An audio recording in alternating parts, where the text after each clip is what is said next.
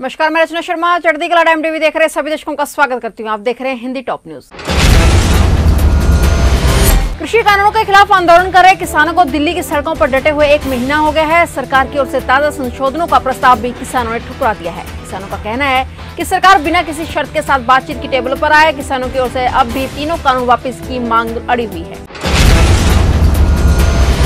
किसानों के द्वारा आज एक बार फिर से प्रेस कॉन्फ्रेंस की जाएगी। किसान नेता दोपहर एक प्रेस कॉन्फ्रेंस करेंगे, जिसमें आंदोलन का कारण बताएँगे। किसान मोर्चे की ओर से अपने डिजिटल प्लेटफॉर्म पर वेबिनार का आयोजन किया जा रहा है, ताकि अगर लोगों के कुछ सवाल हो तो वे जवाब दे सके।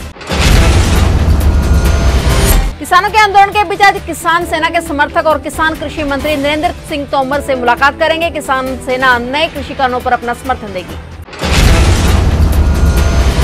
कांग्रेस नेता राहुल गांधी एक बार फिर कृषि कानूनों के मसले पर राष्ट्रपति रामनाथ कोविंद से मुलाकात करने जा रहे हैं। उनके साथ विपक्ष के कई अन्य नेता भी मौजूद हैं। बीते दिन सिंगू बॉर्डर पर 40 से अधिक किसान संगठनों की बैठक हुई, जिसमें सरकार के प्रस्ताव को नकार दिया गया। किसानों ने सरकार को लिखकर नया प्रस्ताव देने की बात कही है, जिस पर विचार किया जाएगा। किसानों का ये फैसला तब आया है जब 25 दिसंबर को पीएम मोदी हज़ारों किसानों से संवाद करेंगे और उनके खाते में कृषि सम्मान निधि योजना की किस्त भेजेंगे।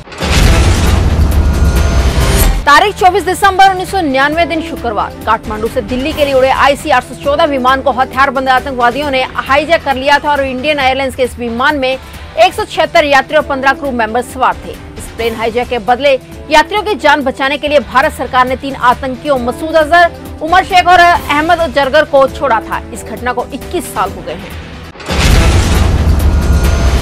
भारत के लिए खुशखबरी है। केंद्रीय स्वास्थ्य मंत्री हर्षवर्धन अगले सप्ताह निमोनिया रोग के लिए विकसित सबसे पहला स्वदेशी टीका लॉन्च कर सकते हैं। यानी कि इस लॉन्चिंग के बाद से ये टीका बाज़ार में उपलब्ध होगा। ज़ाहिर है कि ये टीका सीरम इंस्टीट्यूट ऑफ़ इंडिया ने विकसित किया है।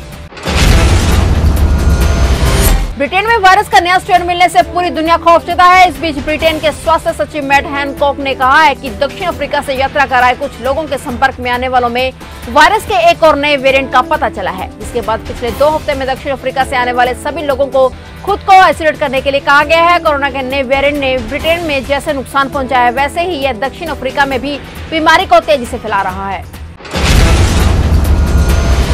जम्मू कश्मीर के बारामूला में सुरक्षा बल और आतंकियों के बीच मुठभेड़ शुरू हो गई है। वनियम विंगरे क्रेरी इलाके में दो से तीन आतंकियों के छिपे होने की खबर मिली थी। इसके बाद सुरक्षा बलों ने गुरुवार सुबह सर्च ऑपरेशन चलाया और इस दौरान आतंकियों ने फायरिंग शुरू कर दी। सुरक्षा बलों की ओर से जवाबी फायरिंग भी की जा रही है।